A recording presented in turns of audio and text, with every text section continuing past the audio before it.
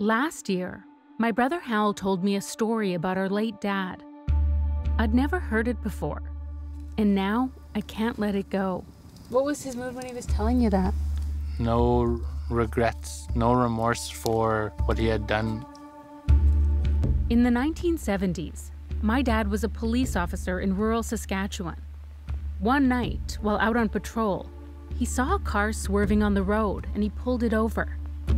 When he walked up to the window, he recognized the man behind the wheel.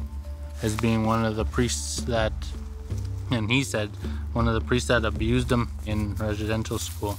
And he ended up taking him out of the vehicle and, and beating the shit out of him.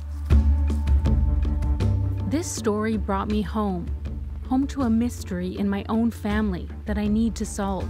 Did he tell you who the priest was or anything about him? No, he didn't know. I've never heard him mention names, but I knew he had stories.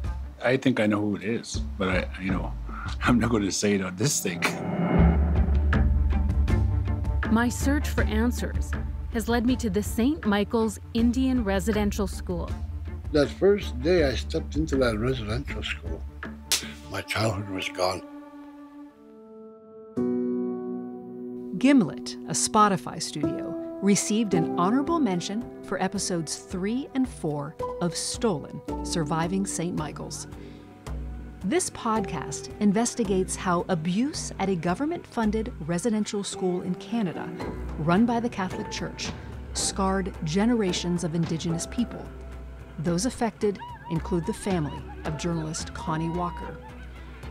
Judges called the work a remarkably moving masterpiece and a testament to the power of audio. They praised Walker's wisdom and grace for letting the story tell itself and for allowing survivors the space and dignity to tell their own stories, both the horror and moments of strength and reflection. They also commended Walker for maintaining a spotlight on the effects of colonialism and trauma and showing how its lasting effects reverberate through generations of colonized people.